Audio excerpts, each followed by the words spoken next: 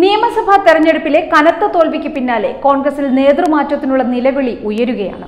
കോൺഗ്രസിലെ ഗ്രൂപ്പുകളെ അവസാനിച്ചാൽ മാത്രമേ നിലനിൽപ്പുണ്ടാവൂ എന്ന അഭിപ്രായമാണ് സമൂഹ മാധ്യമങ്ങളിൽ അണികൾ പങ്കുവയ്ക്കുന്നത്.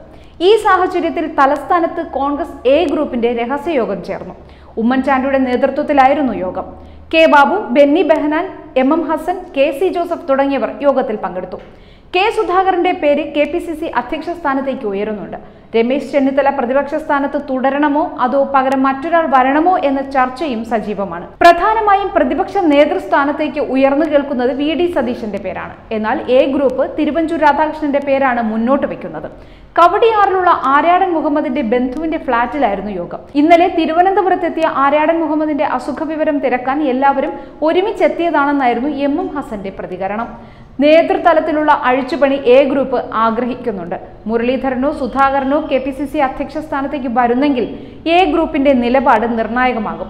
വി ഡി സതീശൻ പ്രതിപക്ഷ നേതൃസ്ഥാനത്തേക്ക് വരുന്നെങ്കിൽ പിന്തുണ നൽകണോ അതോ തിരുവഞ്ചൂരിനെ ഉയർത്തി സമ്മർദ്ദം ചെലുത്തണമോ എന്ന കാര്യങ്ങൾ അടക്കം യോഗത്തിൽ ചർച്ചയായെന്നാണ് വിവരം. പ്രതിപക്ഷ നേതാവിന്റെ കാര്യത്തിൽ മാത്രമല്ല കെ പി സി സി അധ്യക്ഷനെതിരെയും നിരവധി ആരോപണങ്ങൾ ഉയരുന്നുണ്ട്. മുല്ലപ്പള്ളിക്കെതിരെ രൂക്ഷ വിമർശനവുമായാണ് ഹൈബി ഈഡൻ എം പി ഫേസ്ബുക്കിൽ എത്തിയിരിക്കുന്നത്. ഇങ്ങനെ ഒരു ഉറങ്ങുന്ന പ്രസിഡന്റിനെ നമുക്ക് ഇനിയും ആവശ്യമുണ്ടോ എന്നാണ് ഹൈബി ഈഡന്റെ ചോദ്യം. എന്നാൽ സ്ഥാനാർത്ഥി നിർണയത്തിൽ മുല്ലപ്പള്ളിയുടെ നോമിനിയായ ആരും തന്നെ എത്തിയിരുന്നില്ല എന്നതാണ് വാസ്തവം. അതേസമയം എ ഐ വീതം വെപ്പിന് ഉമ്മൻചാണ്ടിയും ചെന്നിത്തലയും രംഗത്തിറങ്ങുകയും സ്വന്തം ഗ്രൂപ്പുമായി കെ സി വേണുഗോപാൽ എത്തുകയും ചെയ്തിരുന്നു. മുഖ്യമന്ത്രി സ്ഥാനാർത്ഥിയെ ആരെയും ഉയർത്തിക്കാട്ടുന്നില്ലെന്നും കൂട്ടായ നേതൃത്വമാണ് പാർട്ടിയെ നയിക്കുന്നത് എന്നുമായിരുന്നു തെരഞ്ഞെടുപ്പ് പ്രചരണ വേദികളിൽ നേതാക്കൾ പറഞ്ഞത്. എന്നാൽ ഇങ്ങനെയൊക്കെ മുമ്പ് പറഞ്ഞിരുന്നെങ്കിലും തോൽവി സംഭവിച്ചതോടെ ഇതിന്റെ എല്ലാ ഉത്തരവാദിത്വവും മുല്ലപ്പള്ളിയിൽ കെട്ടിവെച്ച് തടിയൂരാനാണ് നേതാക്കൾ ശ്രമിക്കുന്നത്.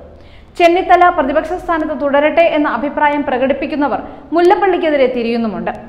കനത്ത തോൽവിയുടെ പശ്ചാത്തലത്തിൽ അധ്യക്ഷ സ്ഥാനം ഒഴിയുക എന്ന വ്യക്തമായ സന്ദേശം കോൺഗ്രസ് ഹൈക്കമാൻഡ് മുല്ലപ്പള്ളി രാമചന്ദ്രന് കൈമാറിയതായി സൂചനകളും പുറത്തു വരുന്നുണ്ട്. പാർട്ടിയുടെ തോൽവിക്ക് പിന്നാലെ പുറത്താക്കി എന്ന പേരുദോഷം ഒഴിവാക്കാൻ സ്വയം ഒഴിയുക എന്ന സന്ദേശമാണ് ഹൈക്കമാൻഡ് മുന്നോട്ട് വെച്ചിരിക്കുന്നതെന്ന് റിപ്പോർട്ടുകൾ സൂചിപ്പിക്കുന്നു.